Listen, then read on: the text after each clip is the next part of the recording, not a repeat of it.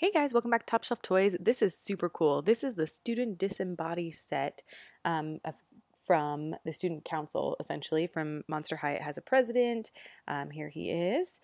And some other dolls that go with him. And it looks like there's like a, a vice president, secretary, student council chair, social chair, um, and a, a, few different dolls, five altogether, and they are so cool. This is, I love Monster High so much. But here's, you get five dolls in the set, and um, I think it's a great addition to your Monster High collection. Once again, Student Disembodied Council.